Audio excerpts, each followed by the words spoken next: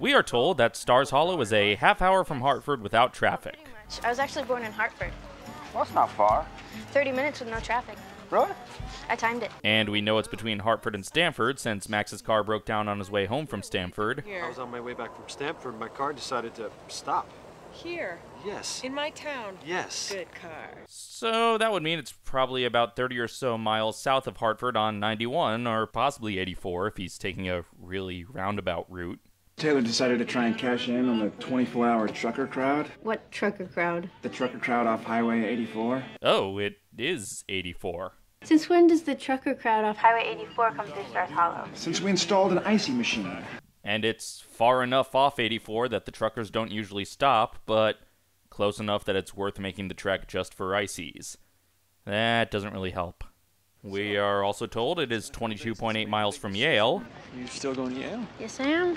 It's got all the classes I want and some really great teachers. And plus, you know, as an added bonus, it's really close to here. 22.8 miles. How'd you know that? Do you Yahoo? You looked it up? so it's somewhere in this circle. Okay.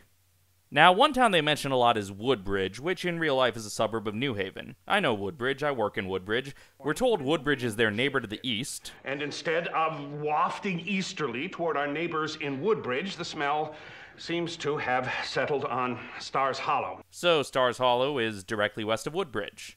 Or I could drop him off at a kennel for a few hours. I know there's a good one in Woodbridge, 20 miles away. Oh, okay, it's 20 miles west of Woodbridge. There are lots of places in neighboring Woodbury, and we'll have to get a newspaper. It's also neighboring Woodbury. I don't think they knew that Woodbridge and Woodbury are two different towns. Any other directions they give us? I was giving her directions for the quickest way back to Hartford. It was very romantic. I said you take a right at Deerfield and you catch the I 5 and you take it south. Oh man, hot stuff. Oh, so now Stars Hollow is actually north of Hartford on I 5. Wait, the I 5 is the Santa Ana Freeway. I think Luke gave her directions to Disneyland. Let's assume he meant US 5. How would 5 possibly be the fastest way south to Hartford when it's parallel to 91? Unless 91's really backed up, it's gonna be faster than 5. That is not the quickest way back to Hartford. Thank you. Everybody knows that you take Main to Cherry to Linwood and then grab the I 11. Everybody knows that, Luke. Everybody Okay, I 11 is in Arizona.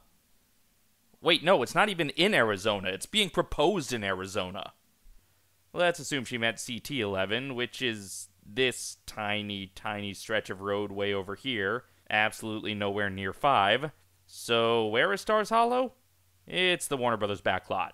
It was a long time ago, on a backlot far, far away from the real Connecticut.